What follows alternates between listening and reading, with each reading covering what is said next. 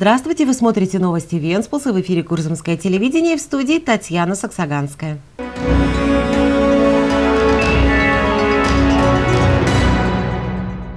Новые правила Кабинета министров, вступившие в силу в начале этого года, изменили привычный порядок оплаты коммунальных услуг для венспилщан. Прошло несколько месяцев, и сейчас управляющие домами с огорчением констатируют, что возникает большая разница между задекларированными показателями и реально использованным количеством воды.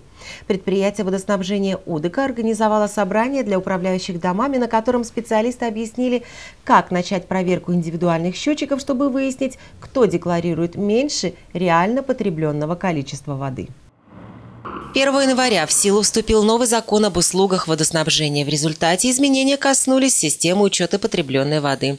Новый закон определяет, что при расчетах за водоснабжение учитываются показания счетчика, установленного на вводе в дом, так как вода поставляется всему дому. В свою очередь, поставка воды в отдельные квартиры в пределах дома считается внутренним распределением.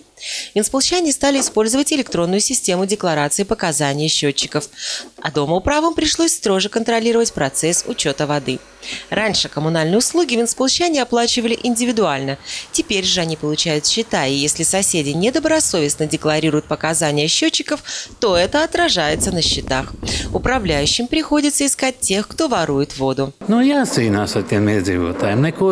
nemainās. Надо бороться с такими жильцами.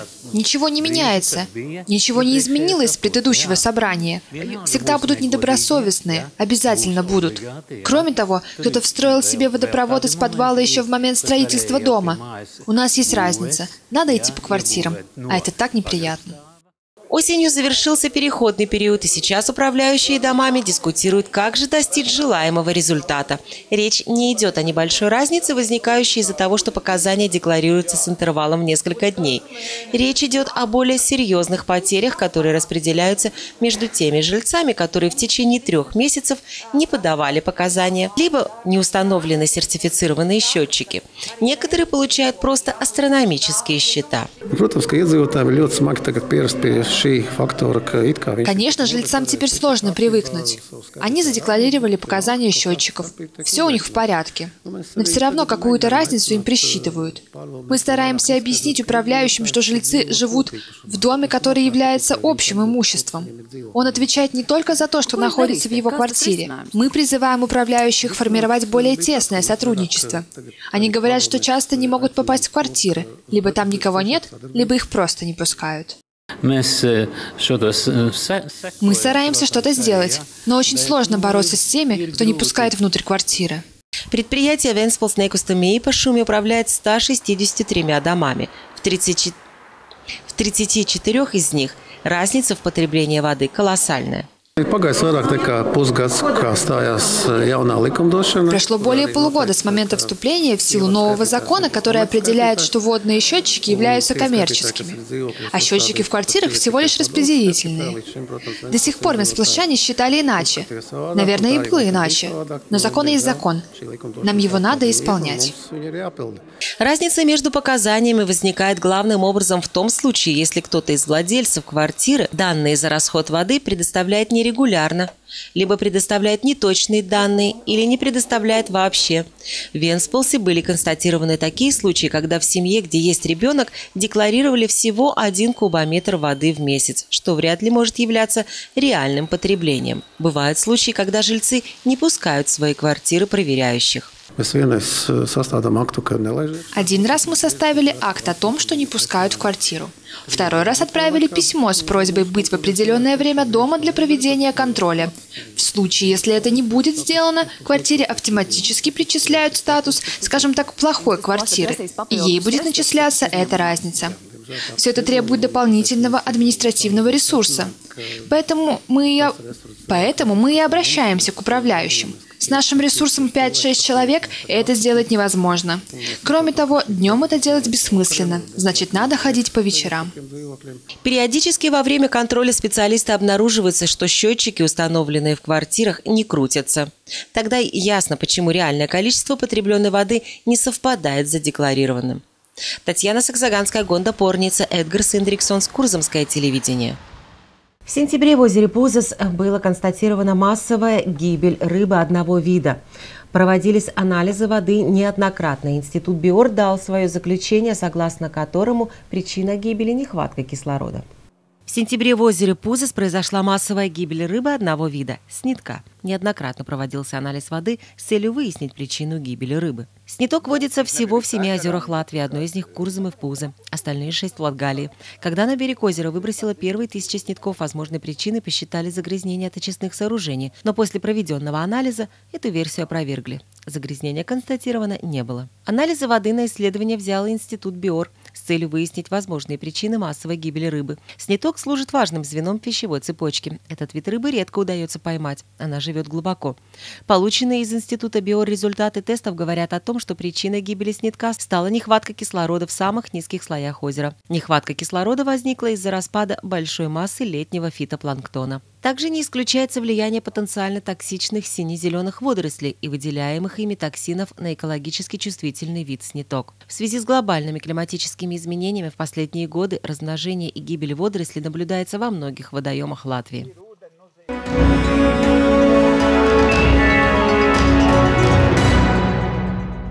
За последние несколько дней у пожарных Венспилса было несколько серьезных вызовов. В ночь на среду пожарные получили вызов на улицу Прежу, где горела крыша жилого одноэтажного дома площадью 180 квадратных метров.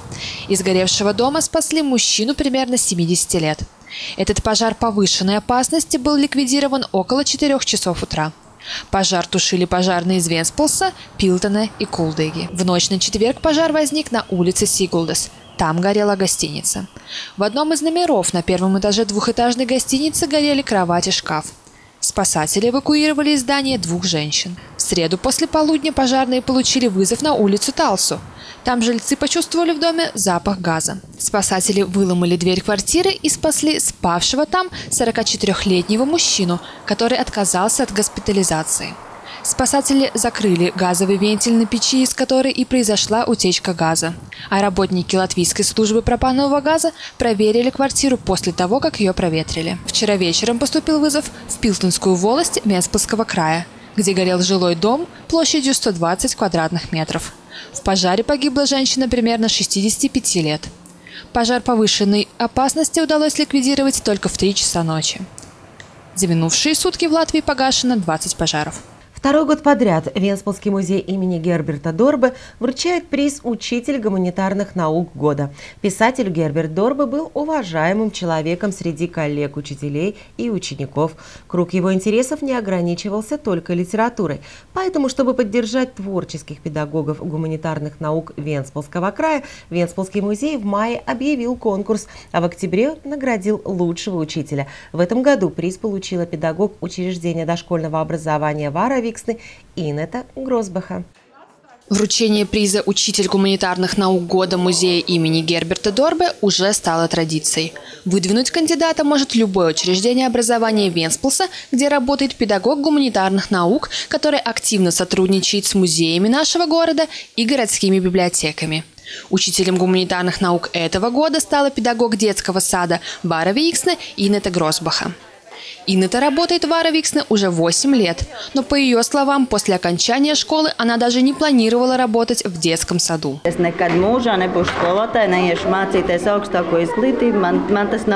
Я думала, что никогда в жизни не буду учителем, не пойду получать высшее образование. Мне это не нужно было. После окончания средней школы сестра предложила мне пойти поработать няней в этот детский сад.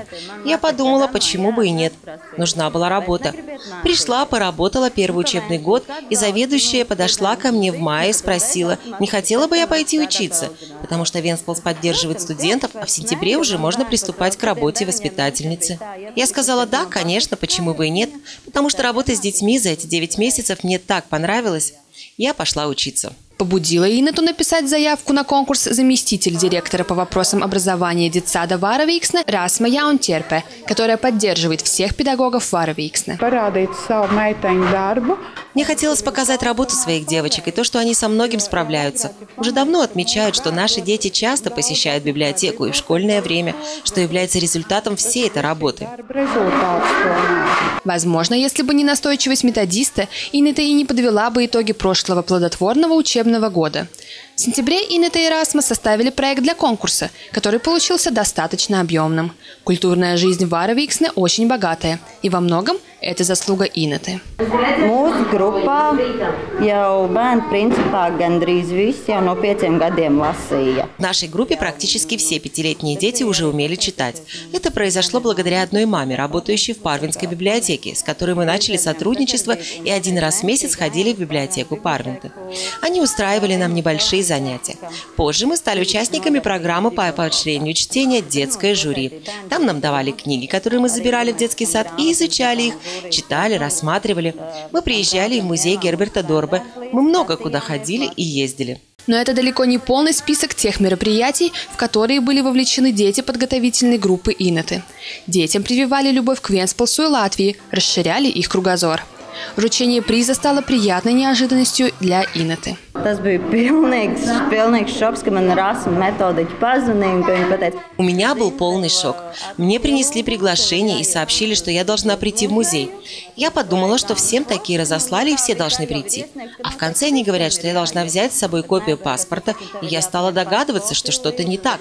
А потом поняла, что, наверное, я получила этот приз. Тогда было шоковое состояние, но было очень приятно. Приз стал сюрпризом и для методиста. Это большой сюрприз для нас всех. Подать заявку подали, но особо не ждали. Думали, что все активно работают. Это было для нас очень приятным сюрпризом. Я думаю, что это хорошая поддержка для того, чтобы дальше работать в этом направлении. Как призналась Инета, ей приятно то, что ее работу оценили. Теперь остается только двигаться вперед и не сдавать позиций. Татьяна Шаховская, Инс Жоденч, Курзамское телевидение. Венспилский дом творчества с каждым годом предлагает все больше образовательных программ по интересам. Особой новинкой этого учебного года стала возможность посещать кружки не только в центре города, но и в Парвинте. Также в этом году в Доме творчества Венспилса впервые создана молодежная организация «Маспулкс». Подробности в сюжете. В далеком 1929 году в Латвии была создана организация «Маспулки», подобная скаутскому юношескому движению в Америке. Карлис Ульманис во время эмиграции в США вдохновился идеей и решил, что и латвийской молодежи нужна особая организация, которая уделяла бы больше внимания сельскому хозяйству и формированию общественной жизни. В Латвии подобные клубы называются маспулки, а в Европе – 4H. Что означают буквы 4H? Head – голова, Heart – сердце, Hands – руки, Health – здоровье. Поэтому участники масс-пулков считают, что основа успешной жизни – это доброе сердце, острый ум, работящие руки и крепкое здоровье. Клуб под знаком 4H приглашает детей и подростков совершенствовать себя в творческой, целеустремленной и способствующей сотрудничеству среде. Масс-полки, как неизвестно, в Венспилсе еще не создавали. Но то, чего не было, создает еще больше интерес. В этом году у нас есть педагог, у которого опыт участия в масс-полках. И мы подумали, почему бы у нас в Доме творчества не создать такую группу. Участвуя в этом кружке, дети и подростки 7-19 лет получают опыт, который может пригодиться как в школе, так и в жизни. Bērniem un jauniešiem īstenot īstenībā savas idejas. Это возможность для детей и подростков осуществить свои идеи, которые могут возникать у них в повседневной жизни. Тут их можно будет реализовать на практике, создавать проекты от начала до конца их реализовывать, попробовать свои силы в презентации и в разных других конкурсах. Руководитель кружка Маспулкс рассказывает, что на занятиях члены организации смогут реализовывать свои творческие идеи и заниматься тем, что их увлекает и интересует. Они сами смогут придумывать себе игры и другие занятия. Также участники будут заниматься разработкой как групповых, так и индивидуальных проектов. Pieredzi? Как дети смогут использовать полученный опыт? Ну, во-первых, это работа над собой. Все начинается с идеи, которую можно будет реализовать тут. Это самореализация. Ребенок может поставить цель, которая будет стремиться и думать о том, как ее достичь. С какой целью ты пришла в этот кружок? Чему ты хочешь научиться? Я хочу попробовать себя в бизнесе, получить новые навыки. Участие в Маспулке не означает только то, что его участники получат опыт в разработке и презентации проектов. Это означает жить в гармонии с природой, оставить след в истории Латвии и Венспилса. В этом учебном году Венспилский дом творчества предлагает посещать более 60 кружков. Татьяна Шаховская, Ребекка Росса, Андрей Кулагин, Курзамское телевидение. В шестой раз в Венспилсе прошли Дни ливской культуры. В этом году они были ознаменованы тремя яркими событиями. Первый – 220-летний юбилей поэта Яниса Принцеса. Второе – презентация новой научной работы о ливском языке. И третье – в Венспилсе гостили представители родственной ливам финно-угорской народности.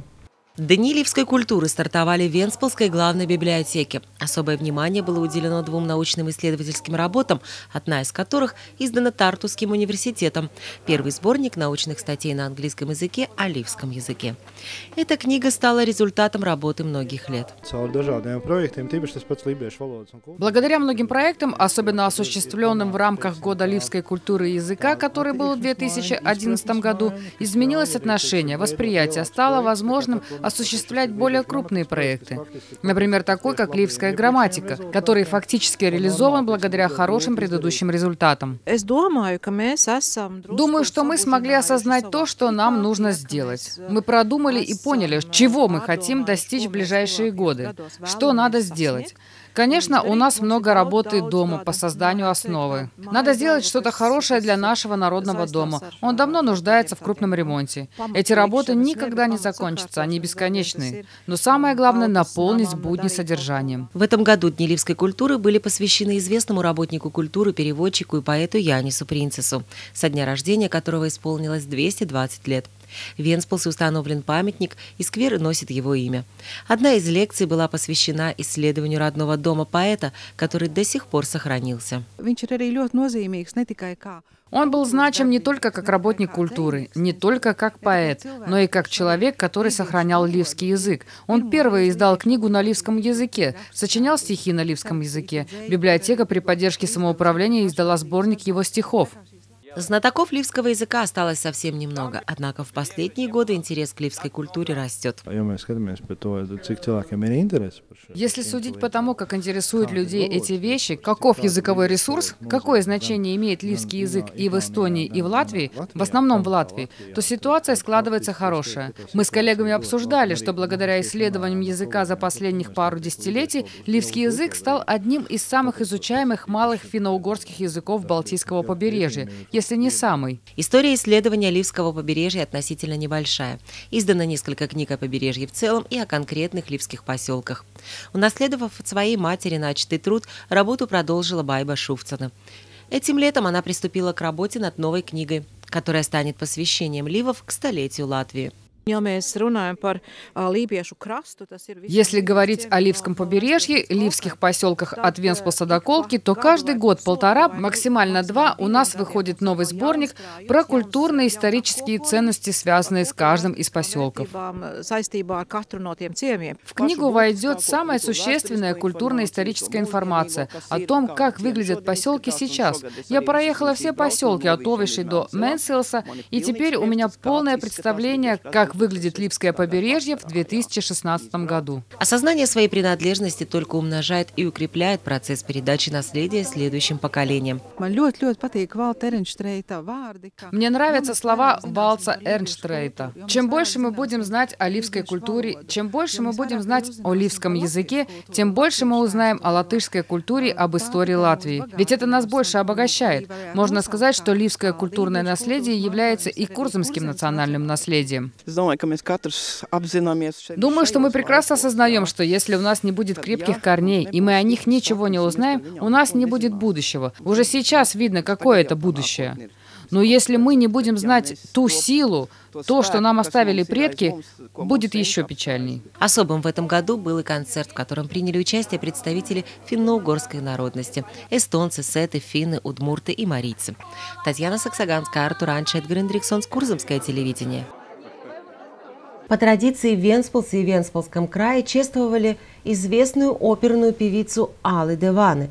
Два концерта состоялись в Центре культуры, а в Таргале возле дома оперной певицы состоялось мероприятие, на котором ученики Таргальской основной школы вспоминали Алле Деваны латышскими народными песнями. Курзамское телевидение также побывало на этом мероприятии. Алида Ване – латвийская оперная певица, обладательница уникального драматического сопрано. После революции 1905 года вместе с семьей Алида уехала в США, Бостон. Там прошли ее школьные годы. Там она училась играть на скрипке. Там же состоялся ее певческий дебют. Талант Алиды заметили и пригласили ее в Италию. В Милане ей посчастливилось учиться у самого Марио Ванца, педагога, у которого брал уроки и Федор Шаляпин – Характер Али Диваны был таким же сильным, как и ее тембр голоса. Она была смелой и самоуверенной женщиной. На заднем торце дома располагался балкон. Мы можем увидеть то место, где он когда-то находился. На этот балкон она выходила и пела, так что было слышно во всем Таргале. Харалдс Давидс, шофер Таргельского школьного автобуса, хранит воспоминания об Али Деване, с которой он какое-то время жил в одном доме Яуналкшни. Харалдсу тогда было совсем немного лет, однако у него сохранились яркие детские воспоминания об этой великодушной женщине. Солидная, красивая, хорошая дама. Ходила по дому, постоянно напевая. Если я работал, складывал дрова, она поддерживала меня, угощала конфетами. Очень хороший, душевный человек. В то же время она была очень справедливой. На чердаке когда-то стояли чемоданы с разными надписями, иностранные дипломы на разных языках. Я был маленький и не понимал тогда, что на них написано. Алида Ваны выступала на различных оперных сценах мира – в Аргентине, Чили, Голландии, США, завоевывая мировое признание. Также Вана несколько лет подряд была солисткой латвийской оперы, но в Латвии ее успех не был столь широк.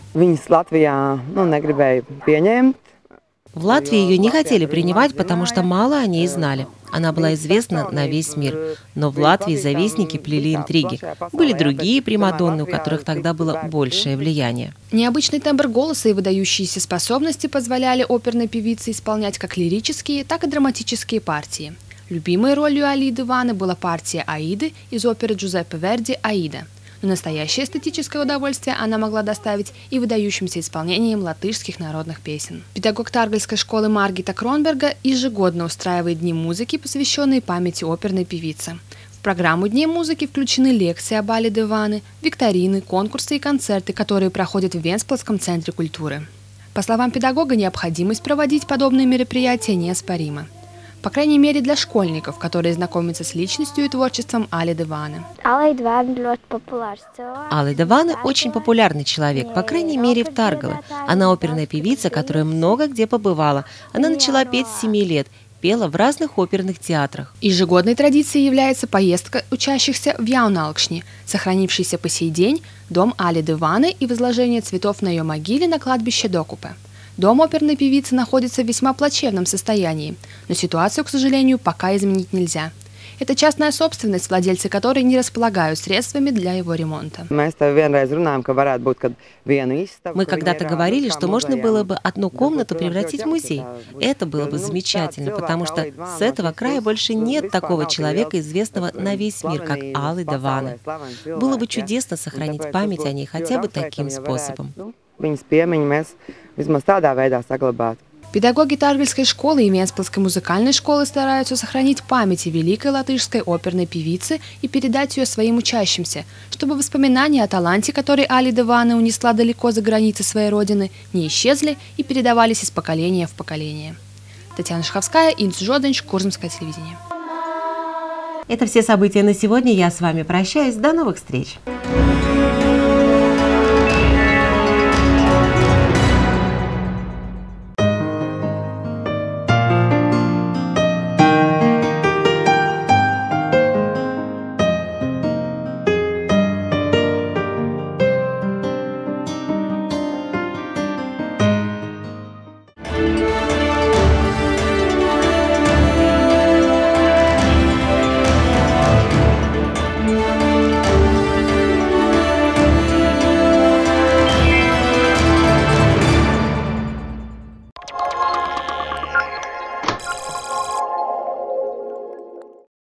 Воскресенье 16 октября с 13.00 до 15.00 в Приморском музее под открытым небом отметят Великий день каши.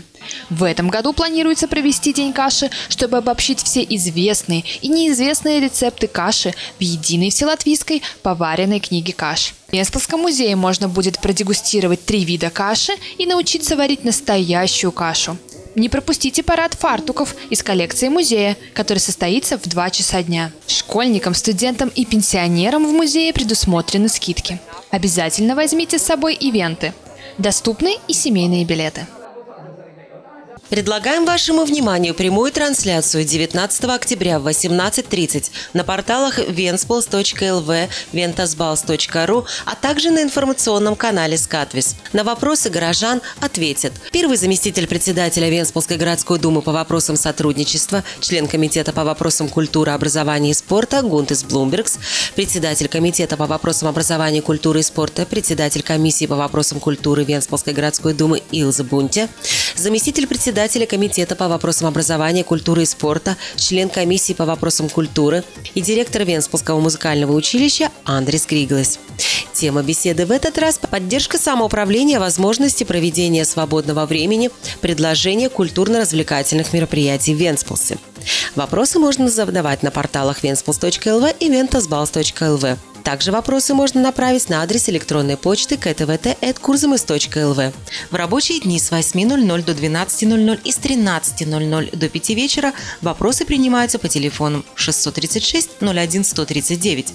Позвонить в студию можно будет и во время беседы по телефонам 636 27 360 или 29 185 371.